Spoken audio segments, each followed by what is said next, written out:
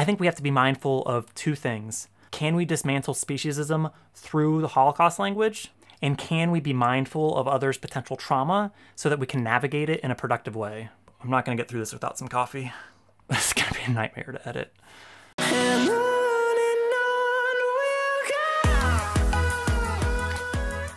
Hi there, I'm Jeremy from veganinteractions.com. Welcome to another video. So this past Sunday, Roger and I had a debate titled, Is the Holocaust Analogy Acceptable? Now, I just started doing these summary videos, and last week I was able to compress it into about five minutes.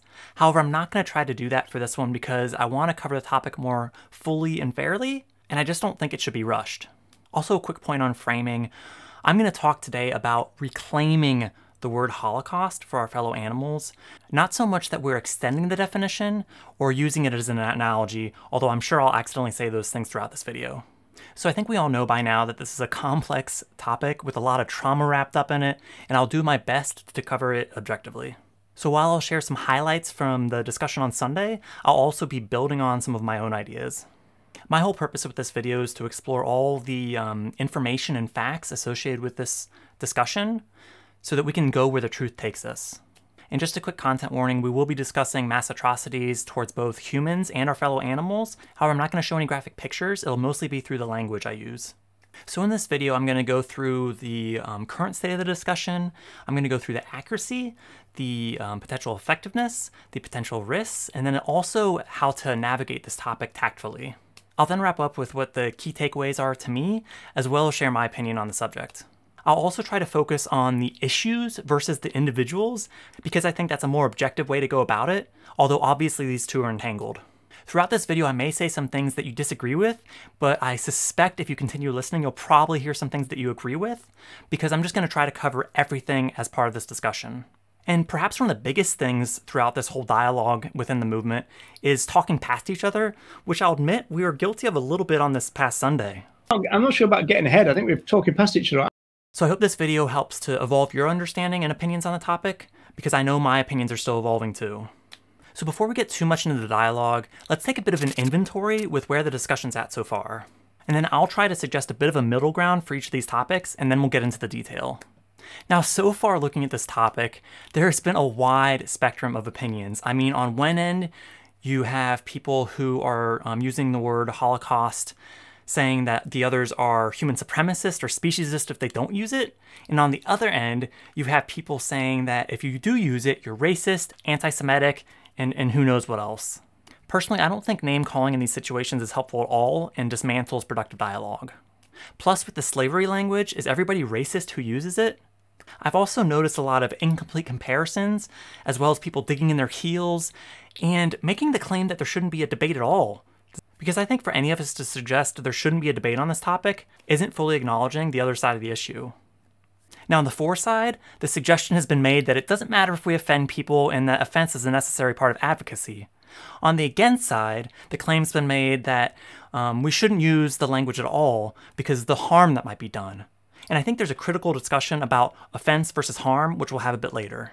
I'd like to see if there's some ground between these two positions and if we can actually use the Holocaust language tactfully to minimize the risk of triggering PTSD or STSD. The for side also talks about um, the animal's only position, whereas the against side is also talking about how if we use the Holocaust language, we'll be perpetuating that injustice. The common ground I see between these two positions is actually using the Holocaust language in a clear way that we're lifting our fellow animals up versus depersonifying um, certain human groups so that we can actually build awareness and prevent future atrocities happening to any of these groups. So on the for side, there's some that claim that maybe we should use this language anytime we want. And on the against side, I think some have suggested that we shouldn't use the language at all because it's just too complicated. Hopefully there's some common ground between these two positions and that at least we can all agree someone who's literally survived a Holocaust is allowed to use the word Holocaust when describing our fellow animals. And that's really the focus of this video for me is all collaborating on our collective knowledge so that we can share our ideas and all have a better chance of navigating the Holocaust language tactfully. Now on the for side, I think the general thought is that um, Holocaust language packs a metaphorical punch that other language doesn't offer, whereas on the against side, the suggestion is made that we should be more creative with our language and come up with alternatives. In between these two positions, I absolutely agree we should be more creative with our language. So let's explore what the potential alternatives might be together. And maybe we find better language, maybe we don't. Now, this is the key part of the discussion to me that I think has been missing is what alternatives are we actually suggesting so that we can objectively compare Holocaust language with these alternatives, which we'll get into in a little bit. Now, just a couple a bit more peripheral points is I think it's interesting on the for side how a lot of people who support using the Holocaust language also reject the idea that human and other animal issues are entangled. They also make the claims that veganism or animal rights isn't political while leveraging political events. I mean, is it really that hard for us to be consistent and acknowledge that veganism is political, but perhaps nonpartisan? On the against side, I also think it's interesting how so many individuals are speaking out on this issue, saying we shouldn't speak out on this issue. So you have people who haven't been affected by a Holocaust directly or perhaps even generationally telling others what to do. Now, between these two positions, I think we should all find ways to talk about this subject in a respectful way. Shouldn't we be able to do that about any topic? Okay, now let's get into the detail of this battle of ideas, starting with the accuracy. Now, I think it's been said enough where I think most should already be aware, but just so we're all on the same page, Holocaust is basically a slaughter on a mass scale. Now, I'll cover a couple of the nuances. However, I think the key here is that we take the victim centric mentality versus the oppressor centric intentions. Now, I can't honestly see someone denying that from the perspective of our fellow animals, that this is in fact a Holocaust. It's also worth noting that the Jewish community also seems to be moving towards the term Shoah, which is more respectful because it's not referring to some sort of sacrifice, as well as it helps to focus in on their particular Holocaust.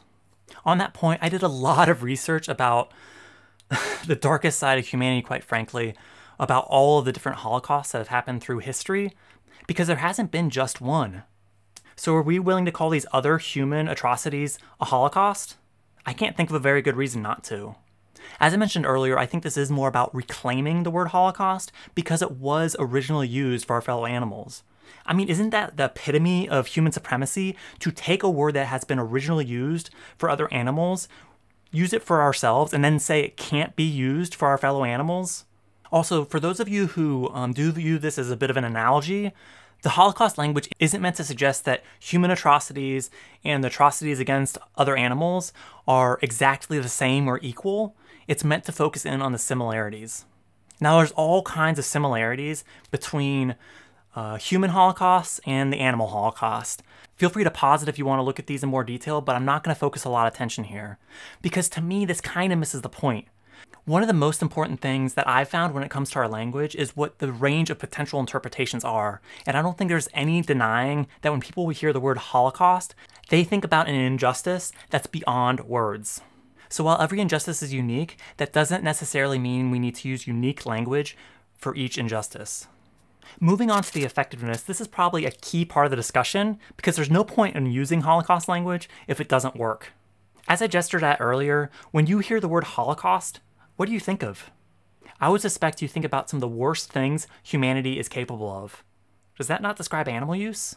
Do you think that could inspire non vegans to take animal use seriously? Now, when it comes to our animal advocacy, there's very limited data as for what actually works and what doesn't work. However, I'm sure most of us by now have probably heard of someone who has said that the Holocaust language had a big impact on them in inspiring them to respect our fellow animals through veganism. As animal advocates, I think we all have to find language that resonates with us and is likely to resonate with others. And while it's important we're objective, which I focused the last highlight video around, I also think it's important for us to have some language with some teeth in it that packs a bit of a metaphorical punch. And I think one of the paradoxes around this is one of the things referring to human Holocaust, and perhaps most specifically the Nazi led Holocaust, is the concept of never again, and that we actually need to keep talking about the human Holocaust in order to, pre- to prevent it. So, if we limit this language to human injustices, doesn't it actually reduce our opportunity to build awareness about it? Plus, can you think of a single mass human atrocity that's happened in history where the target group wasn't first animalized or dehumanized, or I would say depersonified? So let's think about that for a moment.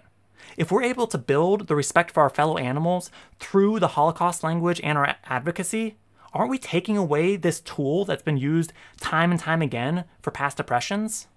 I could see our animal advocacy going a long way to prevent these human injustices from happening in the future.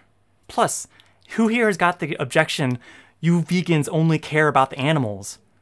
Wouldn't a great response be talk about these human injustices and how this animalization has been a key part? So by lifting other animals up, we can actually prevent some of the worst atrocities against humanity? Plus, when we're thinking about effectiveness, what alternative language are we actually proposing instead of Holocaust language? Now, when it comes to language, I love using the flip it to test approach because I think it really helps test my own speciesism. So let's try that for this. If we start saying the Jewish Holocaust can no longer be referred to as a Holocaust, what would we put in its place? An atrocity?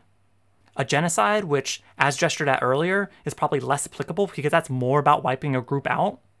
I mean, I've considered a lot of alternatives, but none of them packs the same metaphorical punch as the Holocaust language.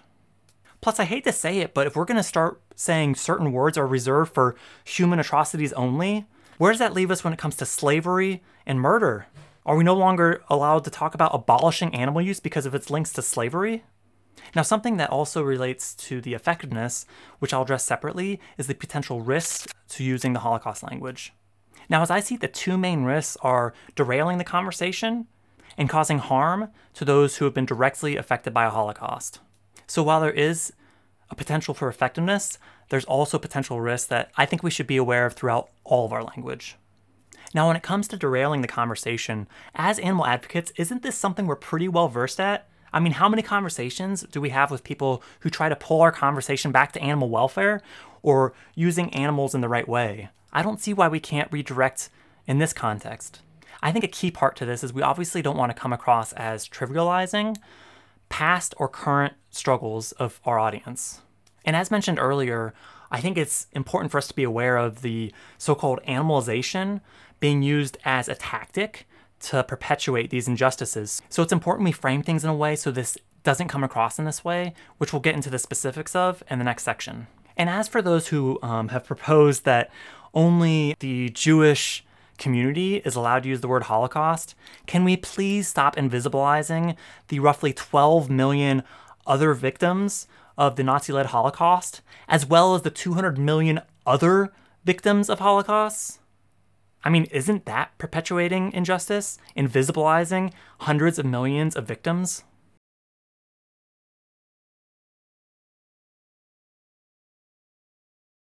Plus, what about the animal holocaust that literally has 3 trillion plus victims each and every year? I mean, that says a lot that we can't even calculate the total death toll. The best we can do is have an annual estimate.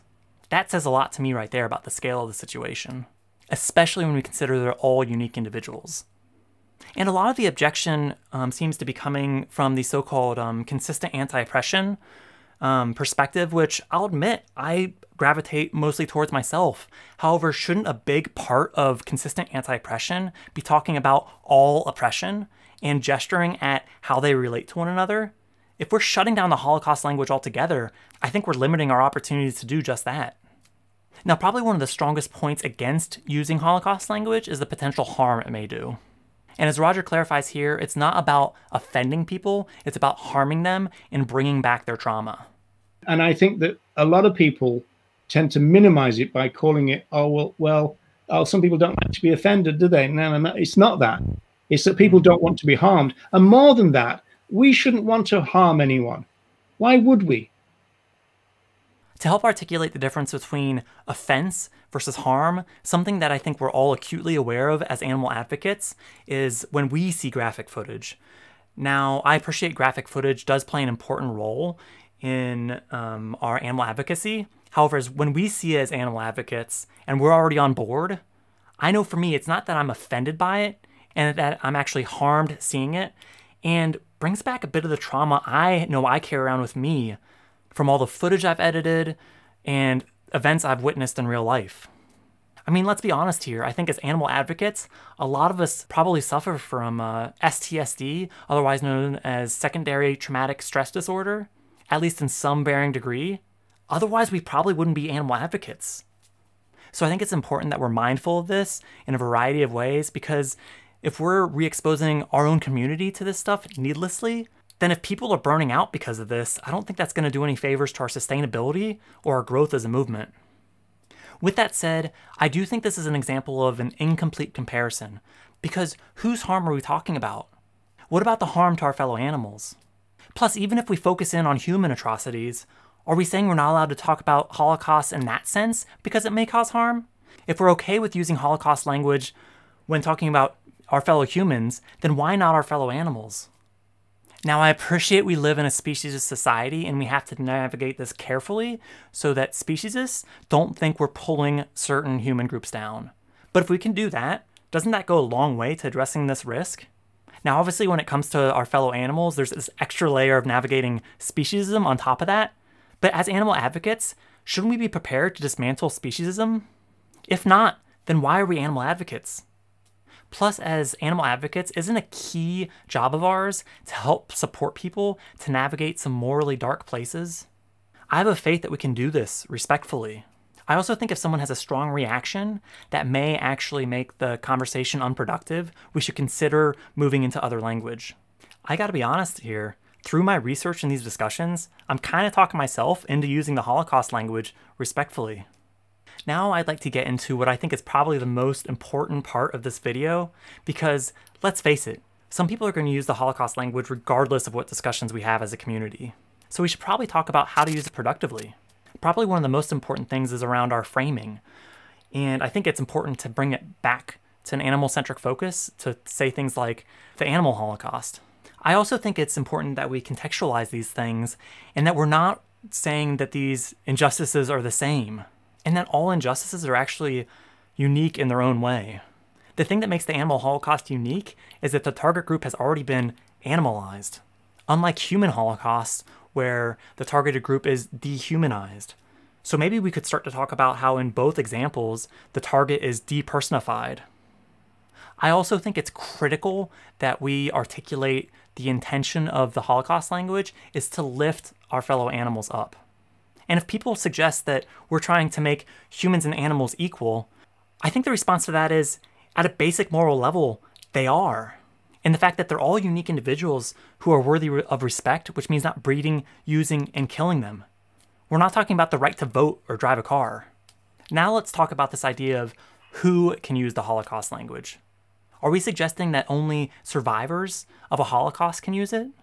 Or perhaps members of a community who may have some family or generational trauma wrapped up in a Holocaust in the past?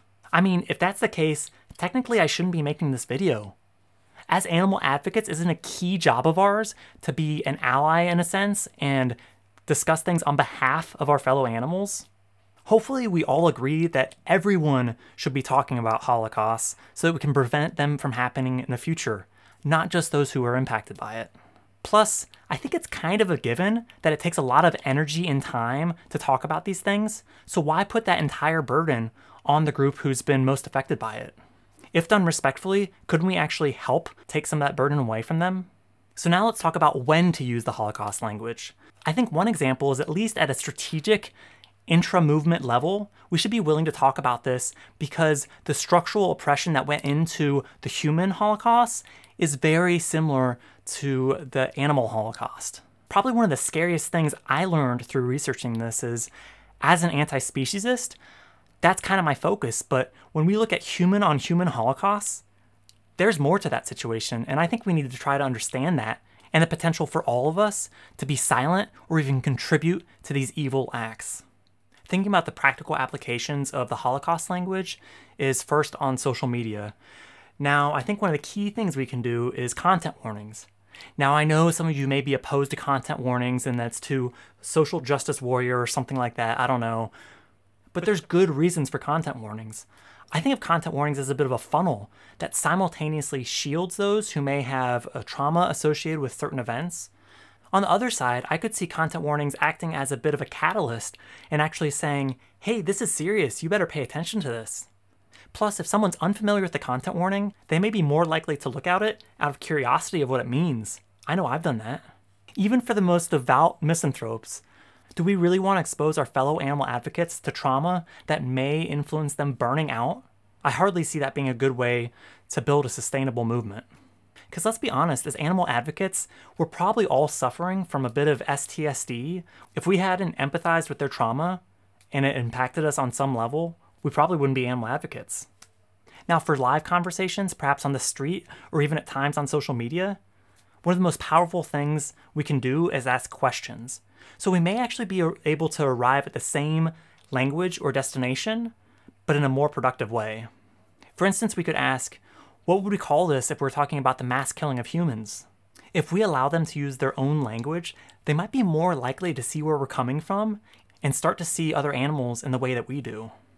Plus, I think this could provide an interesting segue to the speciesism in our language, and we could start to talk to people about the role language plays in the way we view our fellow animals. Now, similar to graphic footage, if someone doesn't want to engage with that, that's okay. Some of my best chats have been when someone came up and said, Oh, I can't watch that stuff, probably because it had an impact on them. So, if Holocaust or other language people seem to have an unproductive response to, let's think on our feet and be creative and move on to different things. A few other questions we could ask are how do you respond to this if we are talking about humans and then start to bridge that divide? We could also ask them, how do you oppose a human Holocaust? Because that's a pretty damn good way to articulate that we shouldn't change the way we're treating them, but we should actually be ending their oppression altogether. Now, I think Holocaust language, or any language for that matter, we shouldn't rely too heavily on. I think it's also important to talk about animal use to establish the overall scope because some less overt forms of animal use probably wouldn't really fit the Holocaust framing that well. Plus, I also think a critical thing we should do as animal advocates, and that we're not doing enough of, is to highlight the unique individuality of other animals through stories and that they're worthy of respect, which means not breeding, using, or killing them. So, in general, I just think we should be mindful not to deny people of their own experiences or their own struggles and associated trauma. For instance, if we use the slavery language and then talk about how racism isn't that bad or even worse, that it doesn't exist today, I can't exactly see that leading to productive dialogue. I mean, think about things from their perspective. We're denying them their struggle and then trying to talk to them about another struggle. I mean, let's be honest, these oppression Olympics, they're building walls, not productive dialogue. Similar to the species hierarchy and where to draw the line and who's worthy of moral consideration, I honestly think that's a distraction. Why shouldn't we be drawing a circle and that all injustices are valid and that all individuals are worthy of respect? Even as animal advocates, I appreciate we acknowledge that the death toll is highest when we're looking at animal use. I think when we focus in on one injustice over another, or saying one's the worst, it moves us away from having conversations about the underlying root cause and trying to understand better what causes good people to be silent or even contribute to evil acts. Now, another example that I think has piss poor optics is if, when talking about human injustices, we're calling them hypocrites. Because, let's be honest, 99% of the population supports animal use. Why not focus on the similarities of the struggles and the underlying root cause? Then, hey, we may even be able to start with alliance politics. So I think it's profoundly important that we're consistent, and if we're going to talk about words that people are going to associate with human injustices, we're also crystal clear that we also oppose human injustice. Because while the focus of animal rights will always be other animals, there's also a scope that's much wider and involves being mindful of these other injustices that have similarities. Because if we're saying things like, it's only about the animals and show an indifference towards human struggles, I think it's a lot more difficult to use this language authentically. Because it kind of implies this Holocaust matters and this Holocaust doesn't, or that one matters more than the other, which I appreciate we're not trying to do, but it could come across that way. So I appreciate this is a controversial topic, and honestly, I think there's valid points raised on both sides, and I'm not going to try to pretend like I've addressed all of that in this video but hopefully this video will help nudge us towards understanding where others are coming from. Now, for those who watch the Animal Rights Show know how I love a good poll. We also did polls on Sunday, and while a slight majority seemed to favor the use of Holocaust language, um, basically the not sure shifted more towards not using the Holocaust language, which I think makes sense because if someone's not sure how to use the Holocaust language respectfully, they're probably going to be less likely to. These results are similar to other polls that I've seen online. So obviously, if you're concerned that the Holocaust language may derail the conversation or cause harm, you don't have to. However, I think there's also some very valid reasons for those who do want to use the Holocaust language. Now, you may be wondering at this point what my take on it is, and I'll be honest, my position's evolved, and I think humans, and specifically the animal movement, I think we're very resistant to acknowledge when we've changed our opinions. But change is okay, change is good. Change is why we're vegan. So when I first started my animal advocacy, I swerved the Holocaust language as well as other language that's strongly associated with human injustices. I also swerved comparisons between other animals and humans because I thought this could derail the conversation. However, I've come to realize that this comparison and talking about them at the same basic moral level is exactly where our conversations need to go from a non rhetorical animal rights perspective. It's not so much about who's right and who's wrong, but it's more about all of us being open to objectively explore the situation and go where the truth takes us. That's a key point to this, isn't it? Are we actually, I mean, I don't know about you, but I've really challenged my own speciesism through pondering this discussion. Now, I'm personally not ready to sign off on the animal holocaust or holocaust language being inherently a net negative. I'm also really struggling to think of language that packs the same metaphorical punch as talking about a holocaust. Can you think of a viable alternative? I appreciate there's a myriad of different ways we can go about things, and from a rights based perspective, some of you may prefer to talk about rights violations. But we need to be able to describe um, what goes on with other animals in their own right, as it were, and and explain to them why that is a rights violation, and that you know that the reason we shouldn't do it is because they're rights bearers. However, shouldn't we also focus on language that's easily understood? And they'd need to use language that ordinary people would understand and, and would relate to. Like you wouldn't like you wouldn't like it if this was done to you. You wouldn't like it if this was done to other members of your family. Something that somebody can relate to personally. From an anti speciesist perspective, I think that the ubiquitous rights violations that our fellow animals endure at the rate of 3 trillion a year and God knows how many throughout all of time is absolutely a holocaust. And it's similar enough to the way people think about human holocausts in the ways that matter. Now, as for each of us deciding whether or not to use Holocaust language or not, I think we have to be mindful of two things. That's can we dismantle speciesism through the Holocaust language? And can we be mindful of others' potential trauma so that we can navigate it in a productive way? If we can do that, I see no reason to swerve the Holocaust language.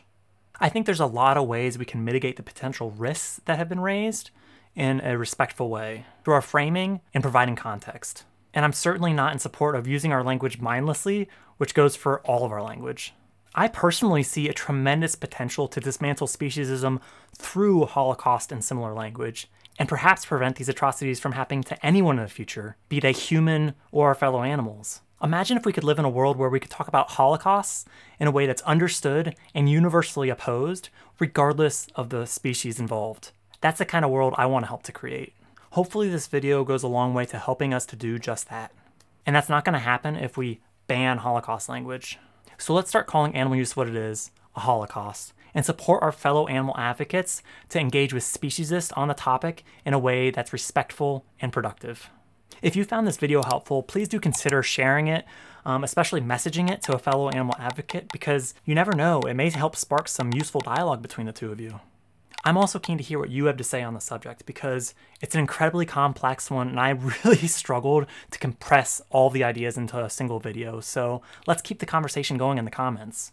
Also, I know this has been a draining topic for some of us, so let's please support our fellow animal advocates to continue discussing this topic respectfully and productively. If you're interested in evolving your language, which I think as animal advocates we all should be willing to do, please do check out the Unlearning Speciesist Language group on Facebook, as well as my um, language document on veganinteractions.com. Also, please do consider subscribing because beyond the anti vegan algorithms, it's a really useful way to let me know that the content is useful, which means I'll keep making it. Don't forget to follow the Animal Rights Show so you can join us every Sunday for our live discussions. Thank you for staying with me through the end of this, and hopefully we'll see you on Sunday for our next live discussion. Moral truth is often extreme, and it must be. For when injustice is absolute, one must oppose it absolutely. And I think we should oppose it with our language. For free resources, such as a discussion guide and language document, check out veganinteractions.com. Thanks for watching.